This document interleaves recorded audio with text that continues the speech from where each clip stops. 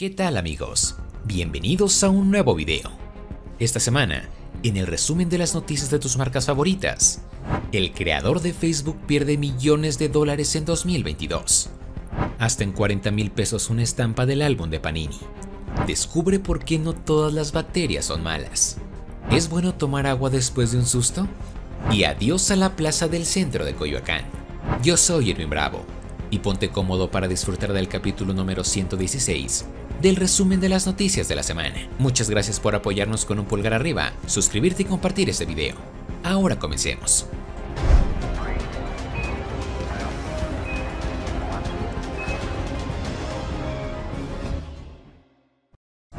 Mark Zuckerberg pierde más de 70 mil millones de dólares durante 2022.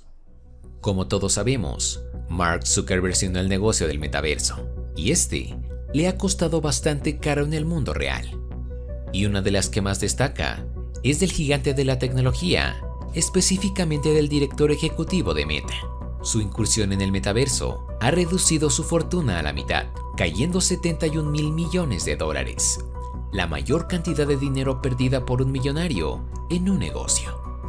Cabe recordar que hace algunos años, cuando Mark tenía 38 años, valía 142 mil millones de dólares y se encontraba en el grupo élite de multimillonarios a nivel global. Sin embargo, con el cambio de la compañía de Facebook a Meta y la incursión en el metaverso, no le ha presentado ganancias realmente, sino más bien pérdidas que han acumulado durante estos años.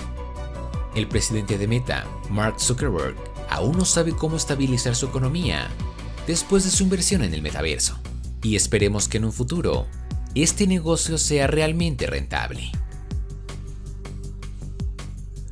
Estampa de Messi del álbum de Panini se vende hasta en 40 mil pesos. Hace algunos días, se dio a conocer que a través de la plataforma Mercado Libre, una estampa de Leo Messi, perteneciente al álbum de Panini de este año, está llamando la atención por su precio. Y es que incluso uno de ellos ha estado cerca de los 50 mil pesos. A día de hoy, faltan menos de 60 días para el inicio del Mundial Qatar 2022, uno de los eventos deportivos más esperados del año, y que se trata de un espectáculo muy esperado por los fans del fútbol. Luego de que a raíz de la pandemia, la asistencia a los estadios estuvo prohibida, durante este año ya se está viviendo el mismo ambiente que se conocía.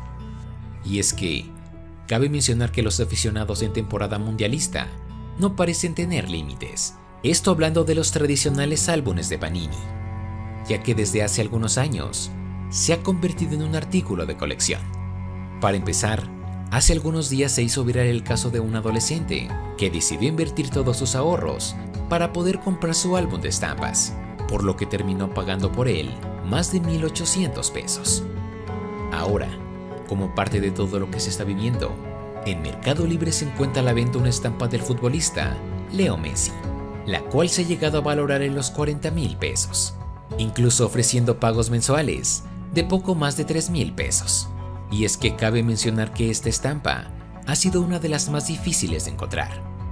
¿Y tú, comprarías esta curiosa estampa? Te leo en los comentarios. ¿Realmente no todas las bacterias son malas? Como seguramente sabes, lo que comemos influye en nuestra microbiana intestinal y es que un experimento dado a conocer hace algunos días explicó que el azúcar mata ciertas bacterias intestinales y previene la obesidad y otras enfermedades. Asimismo, dieron a conocer que una dieta particularmente azucarada puede provocar el crecimiento de ciertas bacterias, que a su vez matan la microbia que estimula el sistema inmunológico. Como resultado, entra más grasa al cuerpo de los ratones a través de la mucosa intestinal, por lo que la mayoría de estos animales no solo tuvieron sobrepeso, sino también se enfermaron. Algunos alimentos conocidos por tener alto contenido de azúcares son las tortas, las galletas y las barras de chocolate. Aunque estos no son el único problema, ya que están los llamados azúcares ocultos, que se encuentran en alimentos procesados y hacen que aumente la cantidad de azúcar consumida en el cuerpo. El comer alimentos ya preparados supera rápidamente el límite de azúcar como resultado de este círculo, los alimentos azucarados no solo hacen que el nivel del azúcar en la sangre aumente, sino también que vuelva a caer rápidamente. Finalmente, además de la obesidad, las enfermedades cardiovasculares son resultado de niveles altos de azúcares y lípidos en la sangre, esto derivando en ataques cardíacos, derrames cerebrales y diabetes tipo 2.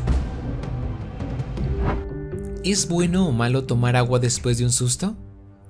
Durante este lunes 19 de septiembre del año 2022, fue uno de los días más intensos para todos los mexicanos, principalmente porque se trata de uno de los días en el que recordamos los sismos que han afectado a nuestro país en 1985, 2007 y recientemente en el año 2022. Y es que solo de escuchar la alerta sísmica ya nos hace sentir el verdadero miedo y cómo la presión baja rápidamente. De acuerdo con la Organización Mundial de la Salud, la diabetes es una enfermedad crónica que aparece cuando el páncreas no genera insulina necesaria o el organismo no usa de forma eficaz la hormona producida por este órgano. Sin embargo, cuando se pasa por un susto, lo que hace el organismo es comenzar a secretar diferentes hormonas, las cuales no funcionan adecuadamente. Y si esto se hace de manera constante, el cuerpo no va a trabajar y podría existir una afectación en el páncreas. En cuanto al mito de comerte un bolillo para el susto, en realidad solo se trata de una leyenda urbana, creada por algunas personas, que después de un sobresalto, se deben seguir diferentes indicaciones normales. Por eso siempre uno debe estar hidratado y se recomienda beber de manera diaria al menos 2 litros, los cuales te podrán evitar de diferentes problemas de salud. Pepsi presenta nuevo sabor limitado. Hace unos días, se dio a conocer la colección de Pepsi S'mores, presentando tres diferentes sabores, todos empacados en mini latas de 7 onzas, para poder acompañarlo con lo que tú quieras. Dichos sabores son el Toasty Marshmallow, una Pepsi completamente nueva, que toma como base el sabor del malvavisco asado. Por otro lado, tenemos el Graham Cracker, un sabor influido por las gotas de miel para poder lograr un sabor perfecto y equilibrado de la galleta Graham. Finalmente, Pepsi también presentó su sabor chocolate, el cual contiene gotas dominantes de cacao en todas partes, con ligeros toques de vainilla para poder crear una dulzura cremosa, este imitando a un sabor al chocolate ligeramente derretido. ¿Y tú? ¿Probarías estas bebidas? Te leo en los comentarios. Adiós a la plaza del centro comercial de Coyoacán. Hace unos días, se dio a conocer que los comerciantes que se encuentran en las afueras del centro de Coyoacán aún se encuentran en incertidumbre por lo que va a suceder con sus negocios. Esto tras el cierre de la plaza de Coyoacán. Luego de 33 años de historia, los comerciantes que se ubican a los alrededores de la plaza del centro de Coyoacán tienen miedo de sus negocios y sobre los planes ocultos de este punto icónico de la ciudad. En las zonas aledañas del centro comercial, que se inauguró en el año 89, se encuentran alrededor 15 puestos, la mayoría de comida como tortas, tamales, tacos de canasta, ensaladas, churros, quesadillas e incluso uno de ellos vende accesorios para cabello. Finalmente, hasta ahora lo único que se sabe es que se podría demoler. Y hasta aquí terminaríamos el resumen de las noticias de la semana. Como siempre me gustaría que me dejaras aquí abajo en los comentarios para ti, ¿cuál fue la nota que más te sorprendió? Te voy a estar leyendo aquí abajo. Muchas gracias por haber visto el video. Nos vemos muy pronto con mucho más contenido. Gracias por escucharme. Cuídense mucho. Les habló Irving Bravo.